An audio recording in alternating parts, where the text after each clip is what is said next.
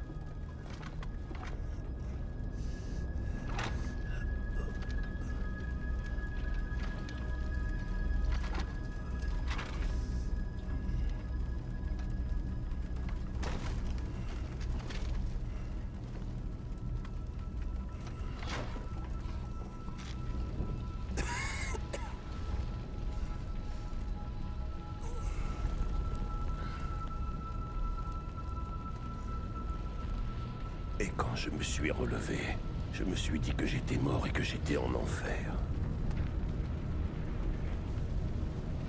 Ils ont fait sauter la montagne.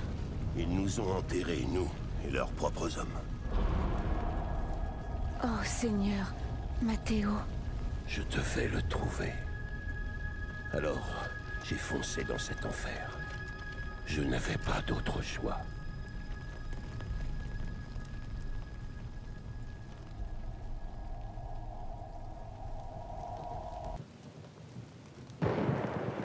Je devais trouver Matteo. Mais il aurait pu être n'importe où.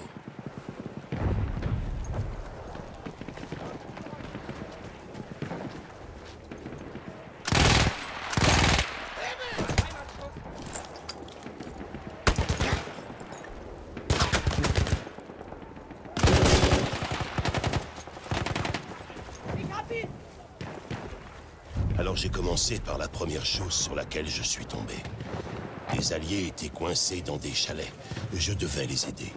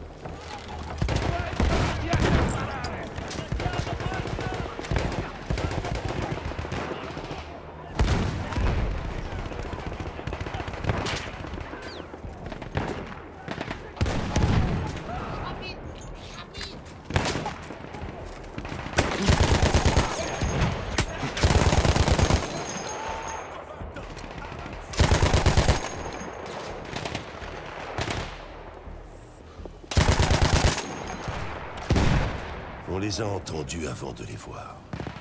Des véhicules blindés qui venaient du fort ennemi. Mais tu n'avais plus ton équipement? Les ennemis avaient laissé des caisses d'armes dans les chalets. On s'est servi dedans et on s'est préparé.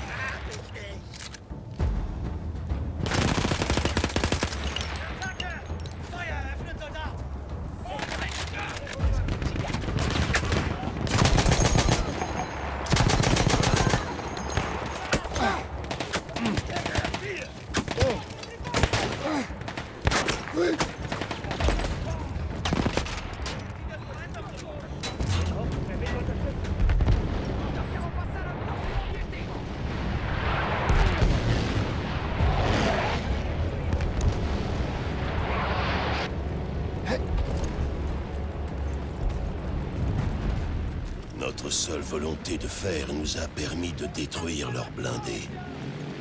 Maintenant que les chalets étaient tirés d'affaire, je devais continuer. Au fait, tu ne m'as pas dit. Est-ce que Matteo était dans ces chalets? Non.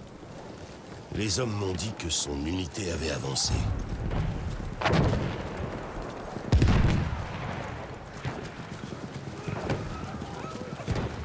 Chaque partie de mon être désirait sortir des Italiens crier. Je savais que mes amis étaient piégés. Partout où je regardais, il était trop tard. Je me sentais seul parmi les fantômes. Au bout d'un moment, je ne pouvais même plus regarder les corps. Il était forcément arrivé au fort.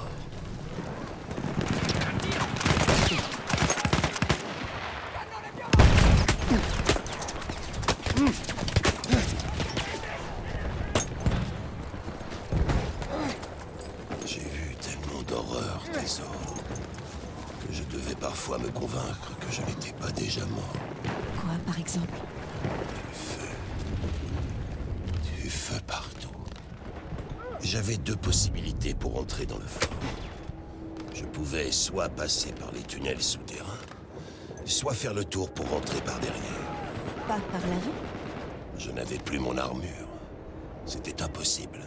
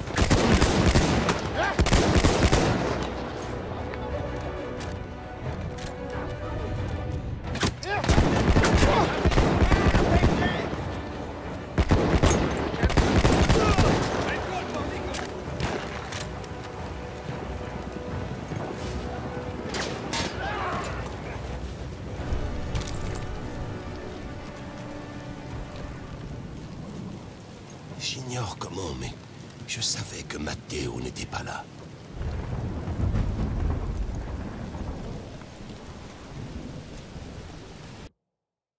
Je pense toujours à cet endroit. Chaque jour.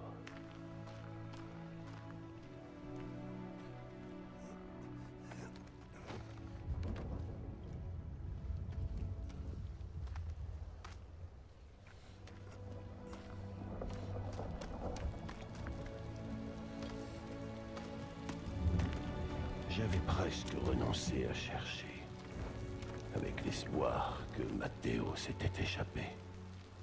Et puis... Non Non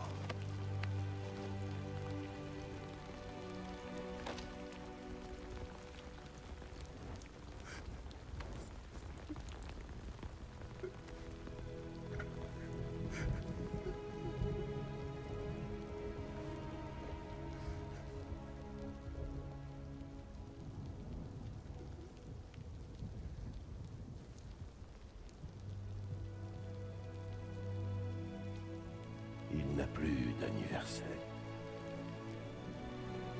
Et moi, je suis toujours là.